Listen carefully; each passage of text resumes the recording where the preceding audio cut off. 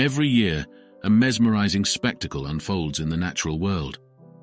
Meet the monarch butterflies, embarking on an epic journey like no other. They start their adventure in North America, but this is just the beginning. These delicate creatures travel thousands of miles to escape long, cold northern winters. Their destination, the remote mountains of central Mexico, where they gather in breathtaking clusters. What's truly astonishing is that it takes multiple generations to complete this migration.